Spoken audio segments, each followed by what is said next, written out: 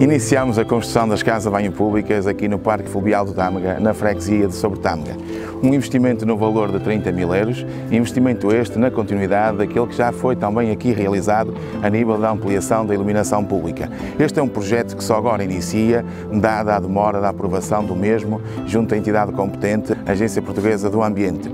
Assumimos com prioridade a valorização do espaço público e é com grande satisfação que assistimos à execução quer desta, quer de outras obras. Nesse sentido, avançamos também com o procedimento da contratação para a limpeza e manutenção quer deste espaço, quer de outros espaços públicos.